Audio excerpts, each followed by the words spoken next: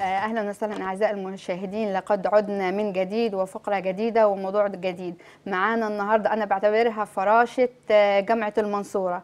الدكتورة غادة نصار دكتوراه ومدرس بكلية طب المنصورة أخصائي التغذية العلاجية والسمنة والنحافة. أهلا يا دكتور. شرفتينا دكتور. خالص آه،. وأنا مبسوطة جدا بوجود حضرتك معانا. أنا أسعد. تعيش يا حبيبتي. عايزين بس أول حاجة نسألها يعني إيه تكيس الموبايل؟ آه، طيب عشان المبيض ده آه. ده العضو تمام. اللي في المرأة المسؤول عن أهم وظيفتين تمام. إنتاج الهرمونات الأنثوية وإنتاج المبايض وإنتاج البويضات عفوا. آه اتفضل. آه، اللي بيحصل في حالات تكيس المبايض هي دي متلازمة. تشمل إن المبيض بيحصل فيه تكيسات بتشمل إن بيبقى فيه خلل في إفرازات الهرمونات عند الست بيبقى فيه سمنة تمام؟ بيبقى فيه اختلال في توزيعة الشعر عند الست إلى جانب إلى بعض إيه ال- الخلل في الشرايين وممكن يوصل لخلل في القلب. فدي كلها آه. إحنا بنسميها متلازمة تكيس المبايض إن المبيض بدل ما بيبقى له بيؤدي وظيفته إن هو بيفرز البويضات كل شهر وبيفرز الهرمونات. بيبقى لأ ده بيتحول لحاجة نسميها مجازا دقيق بلا طحن. إن هو بيكون جريب البويضة جريب البويضة ده يقعد يكبر ويتحول لما يشبه الكيس ولا يفرز بويضة سليمة ولا يقوم بدوره في إفراز الهرمونات. فيعمل لنا المتلازمة دي. طب إزاي يا دكتور بالنسبة للأنسة أو السيدة تشك إن عندها تكيس مبايض تمام؟ وإيه التصرف الصحيح لما تكتشف وهل بيختلف من الأنسة للسيدة؟ آه، طبعا بيبقى في اختلاف طبعا في التعامل ما بين السيدة والأنسة وبيبقى حتى في التدخل التغذوي ممكن يفرق من لو دي سيدة أو دي أنسة. إزاي الست تشك إن عندها تكيس مبايض في كذا علامة. تمام اتفضل أول حاجة مثلا إن هي تيجي تقول لي ده أنا في اختلال في الدورة الشهرية. الدورة الشهرية ما بتنزليش بنت... ما بتنزلهاش بانتظام. آه. تاني حاجة إن بيبقى فيه اختلال في الشعر إنها تيجي تشتكي إن عندها شعر كتير في منطقة الوجه. آه الشعر بيبقى واخد آه إن إحنا نقول androgenic criteria أو آه، الذكورية. اللي هي مثلا منطقة أسفل البطن بيبقى فيها شعر أكتر. آه الشعر ال- آه الراس نفسه ما بيبتدي يدخل يخف من قدام شوية. آه تاني حاجة يبتدي يطلع لها حب شباب. بيبقى فيه سمنة وخاصة السمنة في منطقة البطن. حتى لو أنسة بيكون أعراضها السمنة. السمنة في منطقة البطن آه. 90% آه. آه، من حالات تكيس المبايض بيبقى عندهم حاجة اسمها إيه؟ مقاومة الإنسولين. مقاومة الإنسولين دي دايما بتيجي بحاجة اسمها إيه؟ اللي هي إيه؟ السمنة المركزية أو السمنة في منطقة البطن. تمام. آه، يعني دايما حتى لما تجيلي ست مثلا تستشيرني تقول لي مثلا أنا عندي دراعي تخين دراعها تخين آه. فخدها تخين أقول لها دي حاجة تخلي آه. مثلا ممكن تخلي شكل الفستان مش أحسن حاجة. تمام. إنما الدهون في منطقة البطن دي ده عضو جديد طلع ده كأنه دي لها وظائف هرمونية دي كأنها غدة جديدة طلعت لها. بتبتدي تقوم بوظائف هرمونية. إيه تبتدي تفرز مادة تعطل عمل مستقبلات الإنسولين على الخلايا. تمام؟ لأن تمام. الماده اللي بتفرزها دي بتشبه الإنسولين آه، هرمون الإنسولين شوية فبتبتدي ال- الإنسولين اللي بجد ما مش عارف يشتغل صح. آه. فبالتالي بتدخل الست في متلازمة كده أو حالة حالة إن إحنا نسميها positive feedback أو التغذية الإيجابية المرتدة اللي هي إيه؟ سمنه في البطن تفرز لها مواد تزود لها مقاومة الإنسولين فتزيد سمنه البطن وهكذا. وكل ده. طبعا يأثر على قدرتها على الإنجاب. طب إيه هو البرو- البروتوكول العلاجي ليها؟ طيب. ومين بيشترك في في الح- في علاج الحالة؟ بالظبط. هو بيبقى teamwork بيتكون من آه، زمايلنا أخصائيين النساء. أخصائي النساء طبعا ده اللي بيبتدي إن هو يعني ده الأساس في التشخيص إن هو. بيعمل لها السونار يشوف إن في أكياس على الرحم بيطلب منها بعض الفحوصات الهرمونية يلاقي في زيادة في بعض فحوصات أولية أكيد لازم آه بتتخذ. آه آه طبعا. بعد كده اللي بيبقى لازم فيه دور للتغذية العلاجية. آه ساعات بيبقى فيه دعم نفسي. ساعات مثلا لو خاصة لو في حالة في اللي هي زيادة الشعر ساعات زمايلنا أخصائيين الجلدية بيتدخلوا بالليزر أو كده لتحسين الحالة النفسية للست دي. معانا اتصال من سوهاج ومصطفى. ألو؟ أم محمود؟ ألو؟ عليكم السلام ورحمة الله وبركاته. أيوه اتفضلي. لو سمحت أيوه اتفضلي. اتفضلي أم محمود. اتفضلي. أيوه الدكتور معاكي. اتفضلي أنا معاكي. أم أيوة محمود دكتورة. اتفضلي حضرتك سلم عليك أنا عايزة أخس أهلا بيكي. أهلا بيكي. أنا عايزة أخس جربت فيديوهات كتيرة ما نفعتش معايا. آه عاوزه. أيوه جربتي حاجات كتير. هل كنت بتنتظمي فيها؟ هو أساس يعني فقدان الوزن إن إحنا اولا ما نستعجلش النتائج بحيث إن نزول الوزن ده يبقى في صورة دهون. أنا وزني أنا وزني 120 120 كيلو. وطولك قد إيه يا محمود؟ 160 160 آه، سنتي ووزنك 120 كيلو. في أي حاجة بتعاني من أي أمراض تانية زي مثلا سكر ضغط أي حاجة؟ لا الحمد لله. الحمد لله. سن الحمد حضرتك لله. كام. سنة؟ 38 38 سنة. طيب آه بالنسبة ل آه ماشي. شكرا يا أم محمود. في أي سؤال تاني أم محمود؟ شكرا شكرا. كملي اتفضلي يا دكتور. آه. آه بالنسبة للحالة إنها بتقول دايما إنها آه سؤال آه إيه السيدة رأيك؟ محمود، بالظبط في الحالة. إنها دايما ده شكوى كتير إنها تقول. لك أنا حاولت كذا رجيم مم. آه و آه ما بنزلش في الوزن. اولا بيبقى الاقي دايما إن هي تقول لي أنا حاولت مثلا آه لمدة آه عملت دايت مثلا شهر ولا شهرين. طيب. تمام. تاني حاجة إن أنا عملت diet مثلا هي عملت دايت خست لها تلات- 20 30 كيلو وبعد كده لخبطت. أو مش حاطه حاطة في دماغها إن ال diet دخلت في diet قاسي.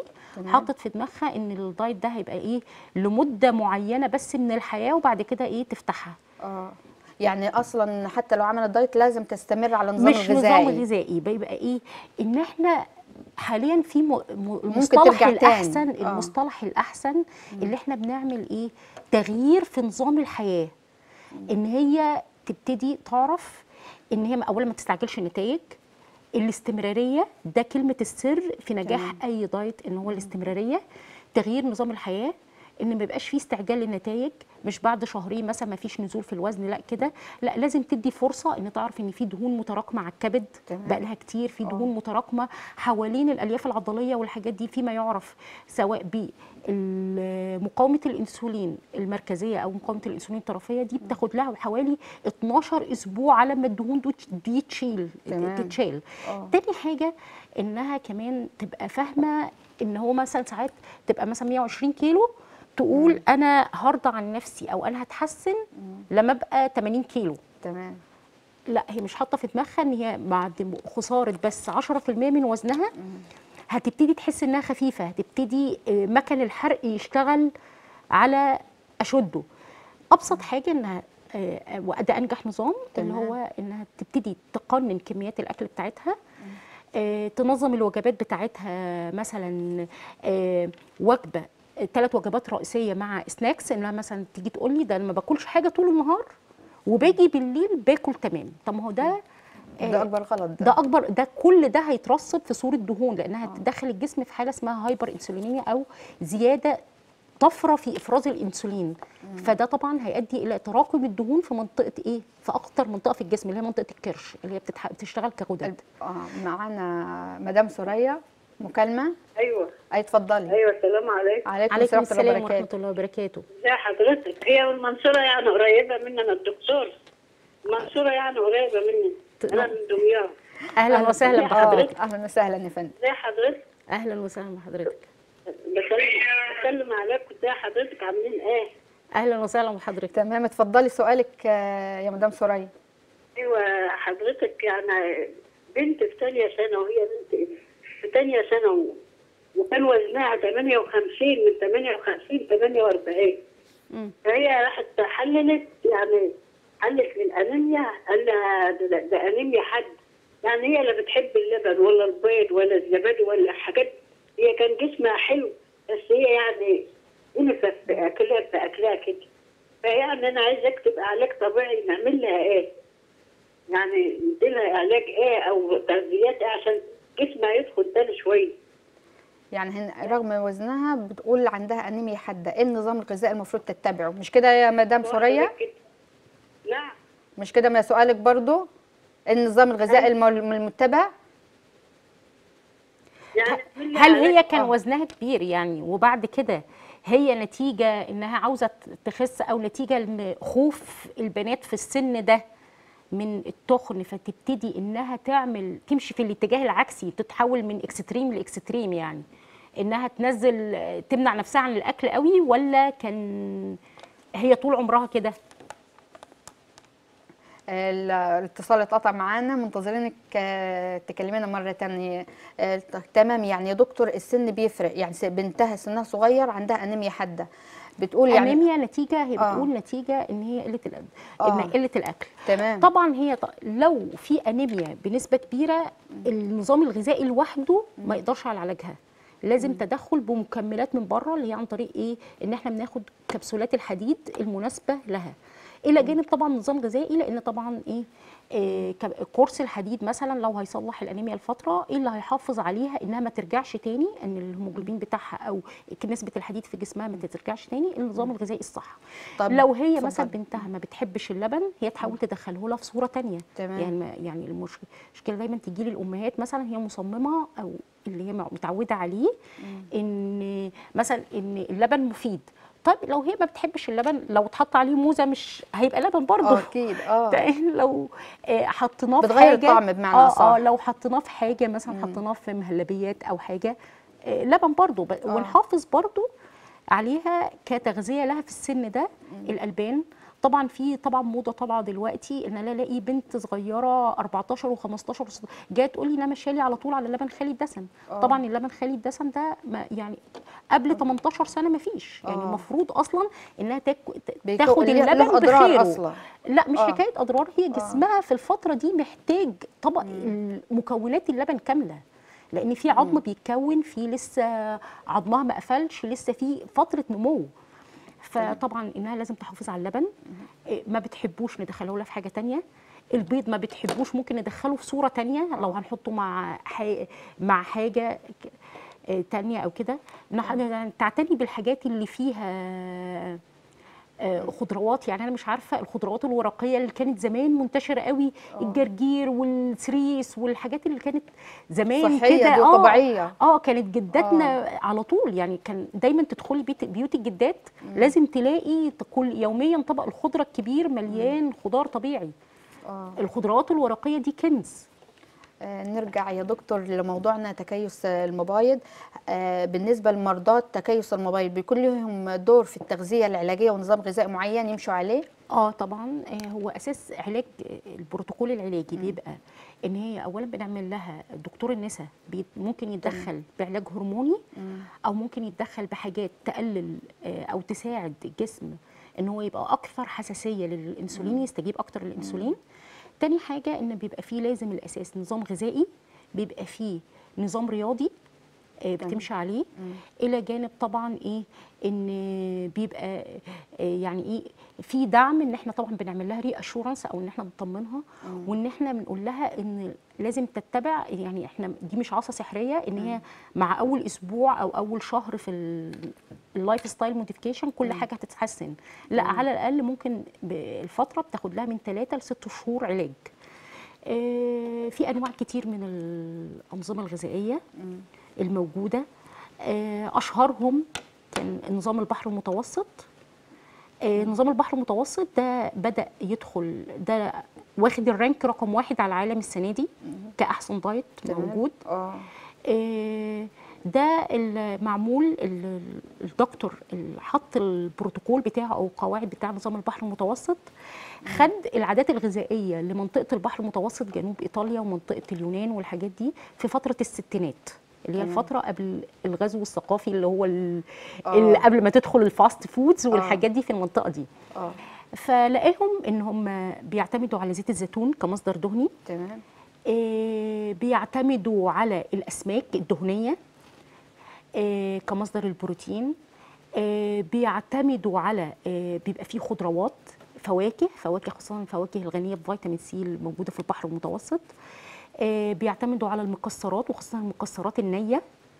فبدأ يحط نظام البحر المتوسط اللي هو بيفيد في تنظيم ال- ال- الحرق والبناء في الجسم وبيحافظ على صحة القلب والشرايين. نستكمل الحو- الحوارنا يا دكتور بس معانا مكالمة تليفونية اتصال. مدام رشا. ألو السلام عليكم. أنا عليكم السلام ورحمة الله وبركاته. بحضرتك أنا اسمي من سهاد وكنت بس على. أنا عندي مية مش كويس بالظبط يعني. مش سامعة الصوت بيقطع. أيوة، معاك يا حد الصوت أيوه مع حضرتك. اتفضلي. أنا بقول لك إن عندي اشمام اللي هو السكت وتعالجت عليه ومش عارفة إزاي يمشي يعني. الصوت مش واضح الصوت مش واضح اتغ- آه، حاولي تعود الاتصال مرة تانية الشبكة ضعيفة عندها. طيب يا دكتور هل تكيس الموبايل بيكون له علاقة بأمراض تانية؟ آه، تكيس الموبايل ده آه. جزء من متلازمة آه، كبيرة بتبقى اللي هي أساسها 90% قلنا لما يبقى عندهم حالة سمنة أو حالات مقاومة يعني الانسولين السمن عل- علا- علاقة السمنة لها علاقة بتكيس الموبايل. 90% من حالات تكيس المبيض عندهم مقاومة انسولين مقاومة الإنسولين دي ال- الإنسولين ده هرمون بيفرز من البنكرياس. وظيفة الهرم... الانسولين ده متبرمج إن هو زي ما نقول كده إن هو بيكنس السكر في الدم. يعني بيدخل سكر السكر الحر اللي موجود في الدم يدخله جوه الخلايا عشان تاكل منه وتتغذى منه. فلما م... لما نقول إن الجسم مقاوم للإنسولين يعني الجسم ما عادش بيستجيب للإنسولين. الإنسولين ما عادش عارف يقوم بوظيفته إن هو يدخل الأكل جوه خلايا الجسم والجسم يبتدي يستفيد منه. فتبتدي حاجات كتير في الجسم تعطل. زي مثلا زي المبيض يبقى إيه الخلايا المبيض تبقى إيه non-functioning زي مثلا إن الإنسولين يرجع لحاجة تانية إن هو يكنس السكر ده بدل ما يدخله جوه الخلايا إن هو يرسبه في صورة دهون. فيبتدي المريض ده يعاني من الكبد الدهني. آه، مدام سوريا يا دكتور عايزة تستكمل آه، كلامها. اتفضلي مدام سوريا. مع حضرتك. اتفضلي. اتفضلي يا مدام سوريا. ألو؟ أيوه معاك حضرتك أهو. اتفضلي. ألو؟ أي اتفضلي ما سامعين. جميل. خد تعالى خد يا بس ابن ابن ابن برضه عنده انيميا وتشوف أبوه عنده ألو السلام عليكم. عليكم السلام. السلام. ورحمة الله وبركاته. أنا عندي يا دكتوره ابني كده راح سنه خمسه عنده كده تسع سنين. آه، وديته قبل كده دكتور قبل كده عنده أنيميا وعنده لطعة في وشه بيضة. فوديته كذا مرة قبل كده. وجبت له كذا علاج نفس الطريقة برضه اللي اللطعه في وشه واللطعه ما بتروحش من وشه لطعه بيضة كده علاج الأنيميا. هو من صغره هو كده يعني. طب حضرتك بالنسبة للعلاج الأنيميا حضرتك بتستمر في علاج الأنيميا كام شهر أو بتستمر قد إيه في علاج الأنيميا؟ يعني كنت بجيب حبة مرة كده ومرة كده. كنت دايما أعمل له عصير برتقال وأعمل له الحاجات دي. بيتقطع في آه لا ما بص. حضرتك مش بي... مش بتتواصل حضرتك حضرتك مش منتظم آه. هو كورس علاج الأنيميا على الأقل حضرتك بنبتدي بنديله آه، أول حاجة بنبتدي نعمل له صورة دم مبدئية بعدها نديله كورس الحديد لمدة شهر تمام. نعيد صورة الدم عشان نتأكد إن هو بيستجيب للنوع ده من الحديد لأن طبعا ال preparations بتاعت الحديد مت... مت... إيه متنوعة لو لقينا إن الهيموجلوبين بتاعه بيزيد والأنيميا بتبقى أحسن بنبتدي نمشي على الكورس ده لمدة شهرين كمان. يبقى ده خلاص بعد ثلاث شهور من بداية الكورس. نعيد تاني التحليل نتأكد إن هو اتحسن. لو اتحسن بنبتدي نمشي نعمل له حاجة اسمها إن إحنا نعمل له مخزن للحديد. حوالي من بيبقى من 3 ل 6 شهور. ولازم يبقى متصل. عصير البرتقال ده فيتامين C والحاجات دي ده آه طبعا ده ضروري مع الحديد وكده لأنه بيزود امتصاصه. إنما دايما الغلطة اللي تقول لي أنا حاولت رحت لدكتور كتير. طب اديتي له الدواء قد إيه؟ اديت جبت الازازة وخلصت خلاص وقفت. تمام. طب ما هو ده مش علاج. ده ما غلط ده أكبر آه آه. يعني هي من رحمة ربنا بينا إن الجسم بيجدد نفسه. الجسم بيجدد نفسه يعني كل ثلاث شهور بيتكون خلايا دم جديدة.